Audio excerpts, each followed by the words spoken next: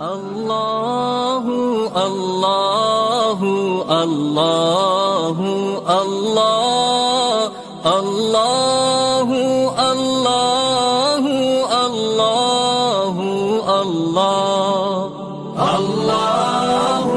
الله الله بسم الله الرحمن الرحيم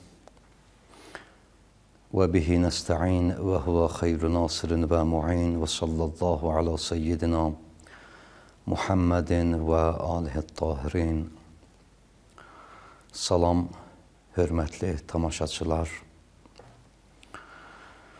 Axşamınız xeyir olsun. Hər bir elm onun mövzusu ilə tanınır. Həmçinin hər bir elmin dəyəri onun mövzusunun dəyəri qədərindədir. İrfan elminin mövzusu tövhiddir.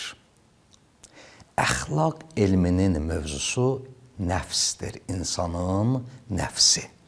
Necə ki insanın xəlqi vardır, xəlqi yəni fiziki yaranılışı, yaradılışı, insanın bir xulqu da varıdır ki, xulq insanın daxili yaradılışıdır. Necə ki insan istəyirəm bir şəffaf e, təmsil göstərəm burada. Necə ki insan bədəninə müxtəlif qulluq etməklə yeməyində, yatmağında, idmanında edə bilir o bədəninin potensialını qabartsın və bədəni onun nizamlı və yaraşıqlı görünsün. Xəlq budur da və insanların da çoxu istəyir fiziki baxımdan belə bir kamilliyə sahib olsun. Bundan lüzumlusu və dəyərlisi və faydalısı insanın xulqunun qabarılması, insanın nəfsinin qabarılmasıdır. Necə ki insan öz fiziki baxımdan özünə baxmasa, zəif olacaq və görkəmsiz olacaq. Xəlqinə, yəni bu xarici yaradılışına diqqət yetirməsə, deyək məsələn bir qeyri-münəzzəm şəkildə görükəcək. Xulq da belədir. Onun batini yaranışı da belədir. Batini yaranışına, yaranışına da dəyər verməlidir. Əgər ona dəyər verməsə, o da eybəcər görükəcək. İctimaiyyətdə eybəcər e, büruzə verəcək. Ona da diqqət etmək lazımdır. Peyğəmbər gəlibdir ki, bunu kamilləşdirsin bizdə. E, diqqətimizlə, qidamızla, rəftarımızla, yeməyimizlə, əməlimizlə ibadətimizlə, ictimai xidmətlərimizlə və s. Bu insanın xulqudur və əxlaqdır. Bu insanın nəfsinə qayıdır. Onun mövzusu nəfsdir. Təkəbbürdən uzaq olmaq, həsəddən uzaq olmaq, səxavətli olmaq, ehsan sahibi olmaq, alicənab olmaq, kərim olmaq və s. Elə buradan da dırnaq arasında bunu deyim. Hər kəs e, bu sifətləri özündə mələkə edərsə, vərdiş də demək bəlkə yaxşı deyil, məsləhət deyil. Yəni onu çox rahatlıqla həyata keçirə bilərsə, heç çətinlik çəkməməklə həyata keçirə bilərsə, artıq bu məkarimul əxlaqa yiyələnibdir. Hər nə qədər yiyələnsə, bir qədər Allaha yaxın olubdur. Biz deyəndə Allaha yaxın bəndədir, məqsəd budur. Allah zaman, məkan baxımından ki, bizə yaxınlığı, uzaqlığı yoxdur. Amma bu mənəvi baxımdan əgər bir səxavətli isə Allaha bir qədəm yaxınıq. Əgər biz e, ədalətli isə Allaha iki qədəm yaxınıq və s. Bəzi sifətlər var. Onlardan biri təkəbbür sifətidir ki, Allaha məxsusdur, Allahın qırmızı xəttidir. Onun əvəzinə Allah insana təvazu sifətini e, bəxş etmişdir ki, bununla özünü əxlaqlandırsın. Artıq söhbətimiz bunda deyil, bir qədər müqayisədədir. Vaxtımız da məhduddur deyə mən məcburam e, bir qədər naqis qoyam demək olar ki, məsələləri və yaxud deyək xülasə şəkildə bəyan edim. Burada bir irfan da vardır dediyim kimi deyirik biz əxlaq ustadlarına. Məsələn, Ayətullah Məliki Təbrizi e, böyük əxlaq ə, ustadlarındandır. Dilimə də elə bu cür gəlir, amma böyük arifdir. Biz ona deyirik əxlaq ustadı. Ayətullah Qazi Təbatəbai, Ayətullah Əllamə Təbatəbai. Biz bunlara deyirik əxlaq ustadları. Həqiqətdə bunlar irfan ustadlarıdırlar. Amma nə üçün biz bunu deyirik? İlk növbədə mən irfanı qısa da olsa məna edim, sonra səbəbini deyərəm. İrfanın dediyimiz kimi mövzusu tövhiddir. Yəni biz irfan elmi ilə Allahı tanımaq istəyirik. Sual. Kəlamda da biz Allahı tanımaq istəyirik. Fəlsəfədə də Allahı tanımaq istəyirik və s. Bəs irfanın fərqi nədir? Bunlar çoxlu e, söhbətlər və çıxışlar istər, amma deyim ki, kəlamda biz yalnız Allahı tanımaq istəmirik. Kəlamda ümumiyyətlə etiqadi məsələlərdən bəhs olunur. Fəlsəfədə Allahı tanımağın la birlikdə biz cahanı tanımaq istəyirik, vücudu tanımaq istəyirik, varlığı tanımaq istəyirik. Amma irfanda Allahı tanımaq istəyirik. Əlbəttə bəziləri irfanın mövzusunu deyiblər insanşünaslıq, cahanşünaslıq və tövhidşünaslıq. Amma biz həqiqətən o irfanın əsl hədəfinə, vəhdəti vücud məsələsinə diqqət etsək, bunlar hamısı həzm olur tövhidşünaslıqda, vəhdətşünaslıqda. Allahı tanımaqda həzm olur bunlar. Ona görə konkret olaraq buyururlar, irfanın mövzusu Allahdır. Allah böyük olduğu qədər bu elmdə böyüdür. Ona görə buna həqiqətdə ən böyük elm deyirlər bu irfan elminə. İrfan ümumilikdə bəs Allahı tanımaqdır, amma e, e, məşhurdur və mərufdur. İki cür irfan var. Nəzəri irfan var və əməli irfan vardır. Əməli irfanı birinci məna edək, sonra nəzəri irfanı. Əməli irfan bundan ibarətdir ki, insan müəyyən əməllərlə, yəni sülüklərlə, əməl yəni sülük, müəyyən mərhələləri keçir, müəyyən mərhələlərə gedir. Ona da seyr deyirlər. Ona görə irfanın bir başqa bir tərzdə adı da seyri süluk elmi deyirlər buna. Seyr və suluk. Yəni rəftarların vasitəsilə mənəvi aləmi seyr etmək. Eşitmisiniz seyri suluk. İndi mərhələlər vardır, mənzillər vardır. Bunu mütəxəssislər söhbət etmək etməlidir. Bizim həddimizdən yuxarıdır. Sadəcə olaraq mən anlayış verirəm, tanışlıq verirəm.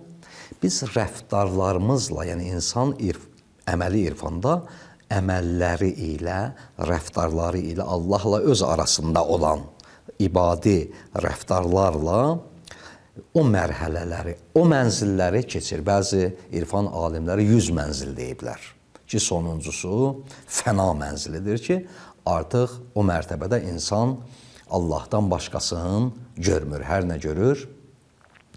E, dəryaya baxır, Allahı görür. Səhraya baxır, Allahı görür. Hər şeyə baxır, Allahdan başqasını görmür və həqiqətən də görmür ha. Həqiqətən də görmür. Amma bu nə deməkdir? Bu bir qədər bunu elmi baxımdan sübut etmək çətindir. Amma eyni zamanda bunun üçün nəzəri bir irfan da nəzəri şəkildə bu irfan da həyata keçirilibdir. İstidlal və istinbatlarla bu seyrləri, e, bu müşahidələri, bu məqamları və bu məqamlarda, mərhələlərdə əldə edilən müşahidələrin isbatına çalışıblar. Bəs nəzəri irfan həqiqətən Nəinki təkcə Allahı sübut edir. Ha, nəzər irfanda fəlsəfə kimi Allah sübut olunur, cahan sübut olunur. Amma nəzəri irfanda o mərhələlər bir-bir sübuta yetir. Və birdən də dırnaq arasında bunu deyim ki, irfanda da böyük ariflərin Allahın həqiqətindən, ümumiyyətlə həqiqətlərdən bir dərki var. Bir dərki var, bir ilhamı var, alacaqları var. Və vəhy ilə bunun fərqi var. Allahın tərəfindən peyğəmbərə peyğəmbərin vəhi dərk etməsi, vəhi almasında heç bir səhv və xəta mümkün deyil. Amma ariflərin həqiqətləri dərk etməsində səhvlər və xətalar mümkündür. Mümkündür. Bəzi dərslərdə şeytanın nəyi olsun, şeytanın ə, e, müdaxiləsi olsun, dərklər və müşahidələr o aldıqları Arifin aldıqları səhv olsun. Orada Arif artıq bunu bu cür bəyan edirlər ki, Arif o aldıqların nəzəri irfanla uyğunlaşdırır.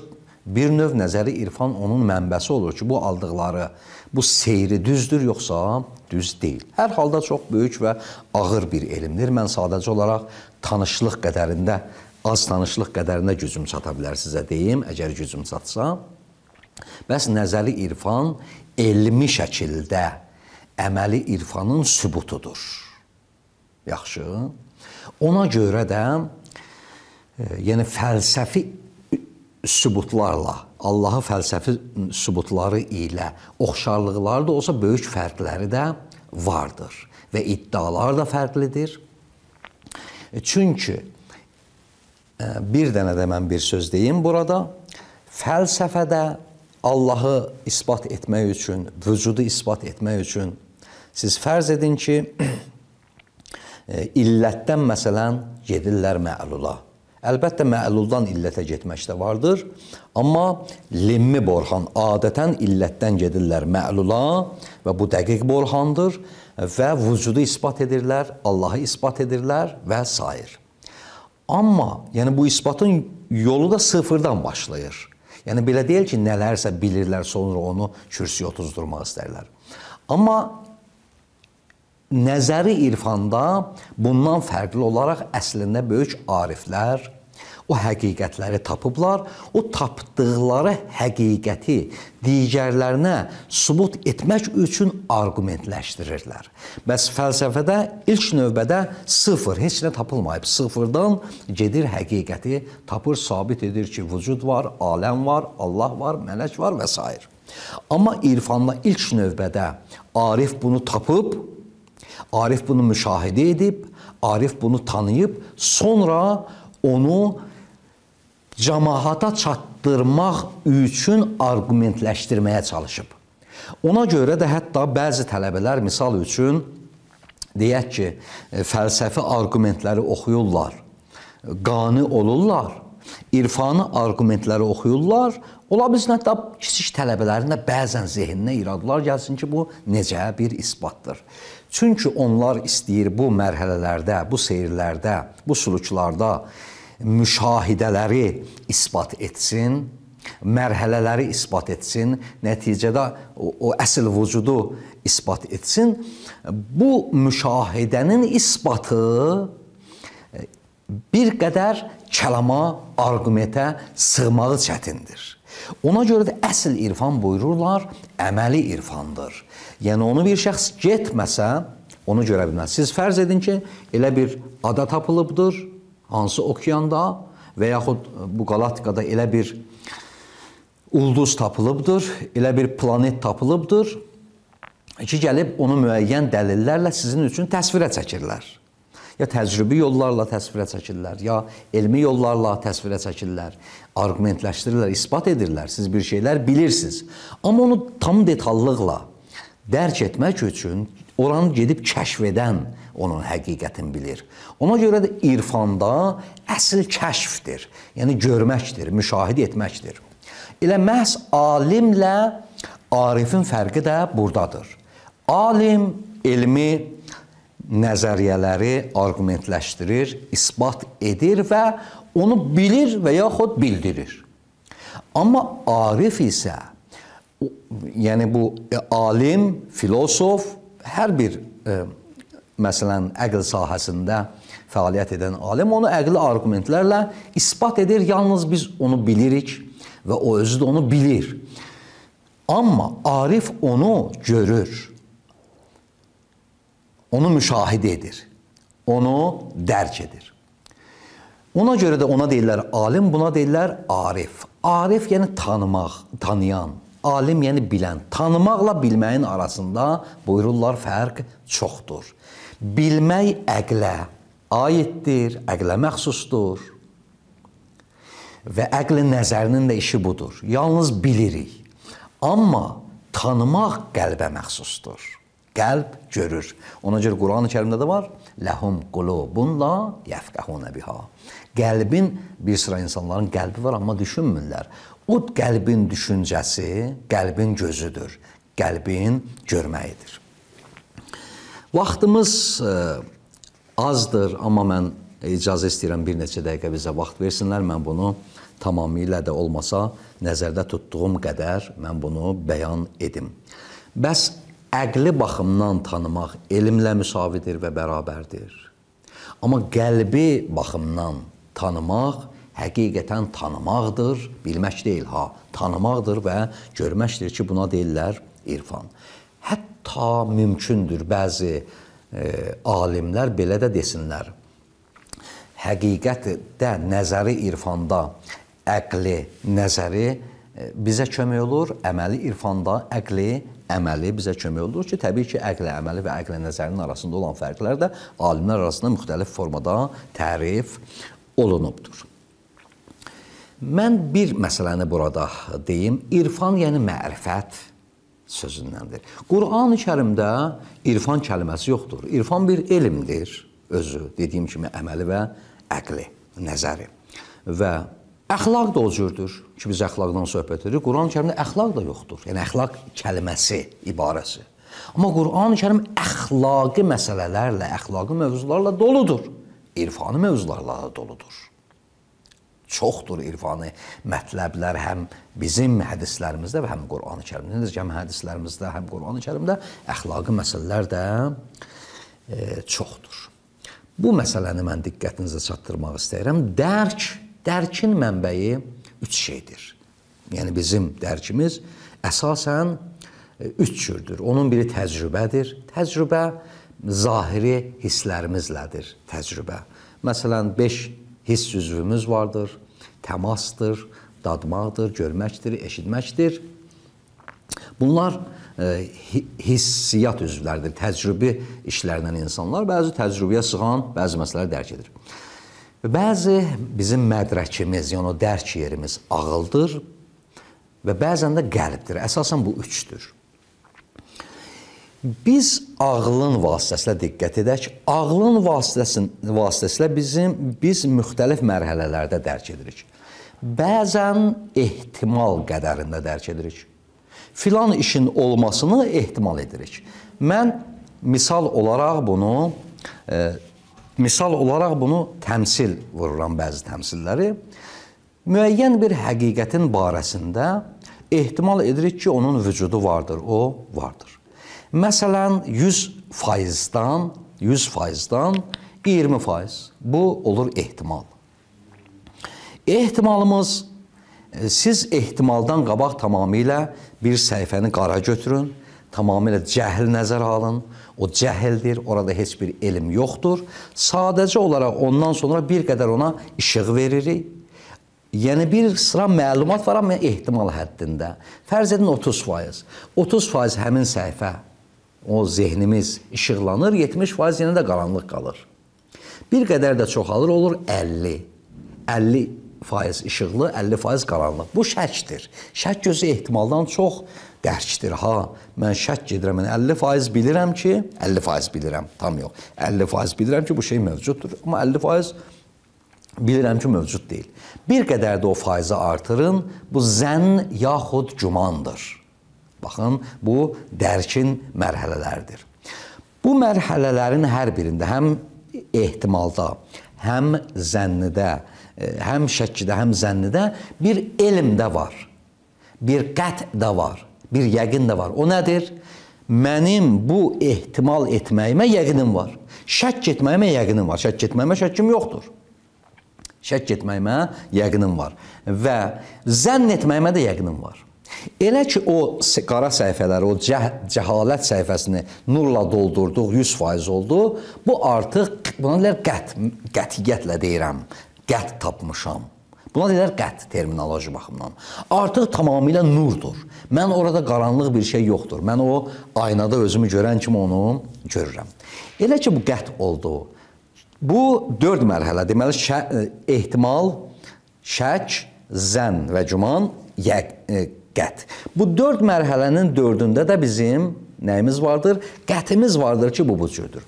Amma bu qət özü bəzən səhv olur, xəta olur, bəzən düz olur. Hər bir elmə nisbət ha, Hər bir şeyin varlığına nisbət.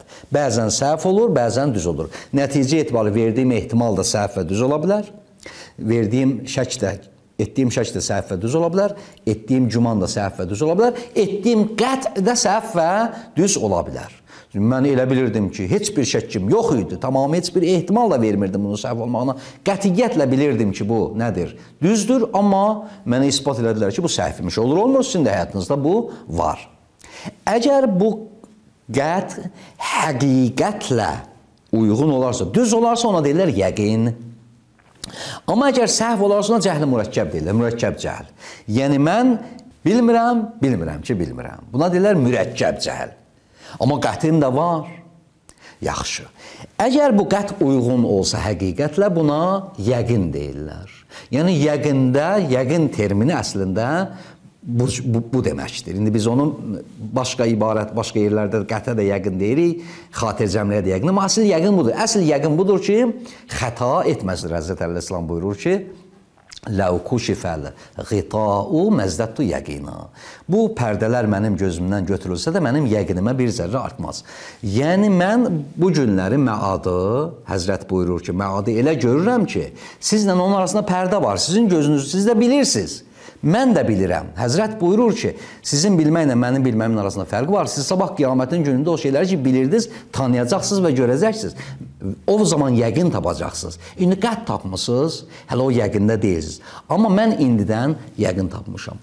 İrfan elmində bu yəqinin özünün də mərhələləri var. Çox qısa deyirəm. Biri elm ol yəqindir. Qurani Kərim buna işarə edib ki, yəqinin bir yuxarı mərhələsidir və aynul yəqindir ki, ikinci bir yuxarı mərhələsidir və haqqul yəqindir ki, artıq Həzrət Əleyhisselam bundan xəbər verir ki, ləv kuşifəl qitau məzdəttu yəqina ki, əgər pərdələr gözümün önündən götürülsə, mənim yəqinim artmaz, çünki artıq bu yer yoxdur, mən görürəm. Hər səhifə, bütün səhifələr qarşımdadır, bütün maniyələr, bütün səhifələr qarşımda işıqlıdır, bütün maniyələr götürülübdür, heç bir şəkkim, şübhəm yoxdur həqiqət və qeyb aləminə. Bəli, bu e, yəqin ki, artıq buradan belə dedim. Ola bilsin ki, riyazi məsələlərə məsələn siz bir yəqin tapasınız, uyğun olsun, həqiqətlə düz olsun.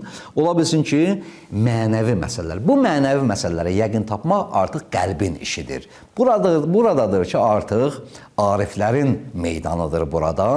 Onlar o müşahidə nəticəsində müayinə nəticəsində, kəşf-i şuhud nəticəsində artıq yəqin halındadılar.